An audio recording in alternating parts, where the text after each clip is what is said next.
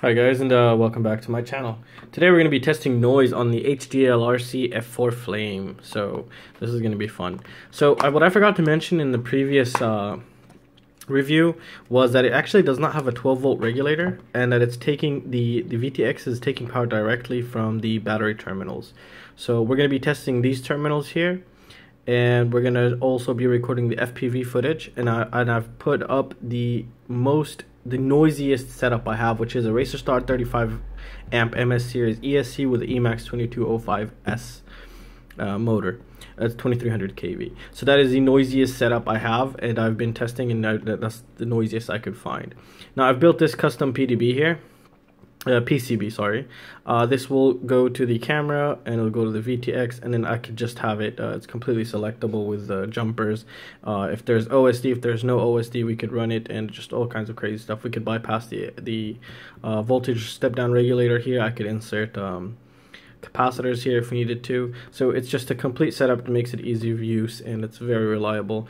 Now what we're going to be is actually we're going to be listening on the VTX uh, output uh, on the oscilloscope and we're going to be listening directly coming out from the ESC which will be on one of these pads right here. This is another one I have right now. This is going to be going on the build. Uh, I'll show you what I did over there on the bench right now. So let's just take a look. Alright, so here we're going to be using the Foxeer X-AT camera with a Eachine TX526 receiver. It's going to be connected to the custom PCB that I showed you. And here we have the wires are going to be connecting directly to the to the PCB where this stuff connects to, with the FPV gear connects to. we're going to stick the battery through here and it's going to feed it to the ESC up on the bench and the bench is going to be controlling the ESC's signal. So right now we're actually powering it off of the flight controller and we could check the amp draw and everything. Alright, so before I begin, I'm just going to let you know how the layout on the screen is going to be. The top line is the is channel 2 on my oscilloscope, which is measuring the raw VTX output, which is the positive and negative on these terminals right here. And the yellow line, the one on the bottom, is measuring the ESC pads, uh, just the, the current that's coming back and the noise that's coming from here, and how much it, we can see how much it's actually some whatever's going on in here, and how much it's filtering it out. So that's what we're going to be looking at and we're also going to have the FPV footage so you guys can see the flickers if there's any blackouts and all that kinds of good stuff. So let's jump into it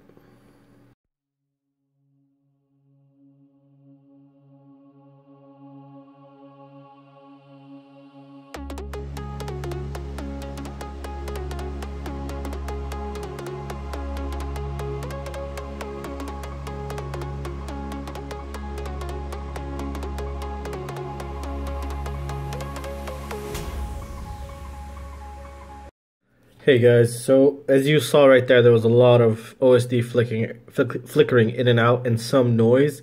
Um, overall, the PDB is doing absolutely phenomenal for the VTX port, uh, power port without any regulator. It's just using its own filtering with all these capacitors, and I find it it's it's very good. This is amazing.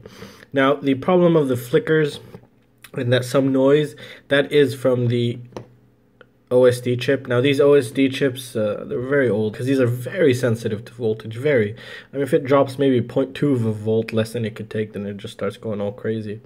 So the problem we're seeing is from the some noise hitting this or some voltage drops actually touching the OSD, and that is what we're seeing.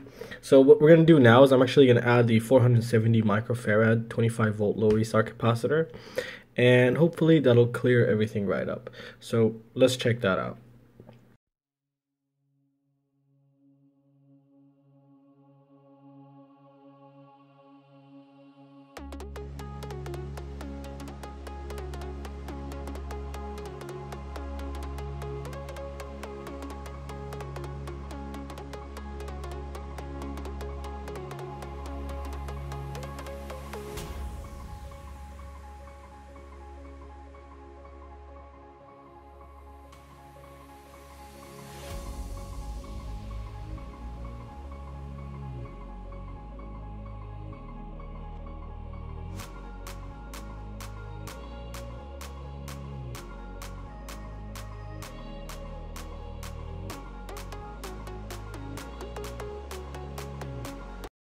Alright guys, so you just saw the low ESR capacitor just did magic. And now this problem is, it will be susceptible to many other uh, boards with the OSD built in. Um, what, what happens is some of the frequencies just jump through the, uh, leak through the 5 volt regulator and just hop in here and just mess things up kind of. So when we added that low ESR capacitor actually filtered it out. So maybe even just adding one 25 volt uh, low ESR capacitor just to the battery terminals, not even a thousand, just a 470 could clear this problem up and uh, we will know this once I actually put it on a power hungry build and then I can actually come back and uh, tell you about that if that really did help. So in the beginning I'm gonna actually set it up with no capacitor but I'm gonna leave room for a tiny capacitor low ESR capacitor to put on these and to see if that'll fix this problem. But overall it lived to my expectations and don't don't forget that I have just set up the noisiest setup I have to run these tests on just just on hardcore level. So it lived up to my expectations and I am truly impressed uh, with this board. Now, regarding the VTX, I highly doubt you're going to get VTX blackouts, and I cannot guarantee uh, that it won't burn your VTX. I'm, I'm fairly certain, but I won't tell you I, I guarantee until I actually try it. So, but I, am let's just say 70%. I'm I'm 70% sure it, it's not going to burn your VTX anytime soon. Um, now, what else do we have? The 5 volt, the camera was, I also tested it off camera. This one was not recorded. The camera, the 5 volt BEC was doing absolutely great, except those little leaks, but those were not affecting the camera at all. This is just leaking into this little bad boy right here, the OSD. And overall, it's a very good, clean build. I bored, like I, I really am enjoying this and I, it's living up to my expectations and it's just awesome.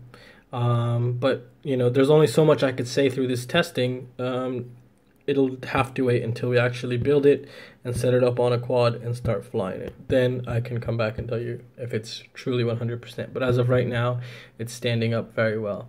So that's going to conclude it for this video, guys. I really hope it helped someone out there. And um, I hope you guys enjoyed it. And if you guys have any suggestions, just feel free to let me know.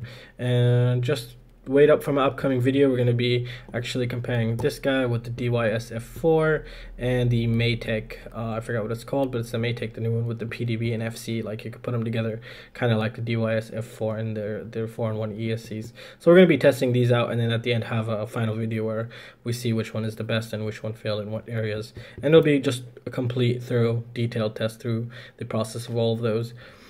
And that is it guys. So i really hope you guys enjoyed it like i said before. And please don't forget to like and subscribe.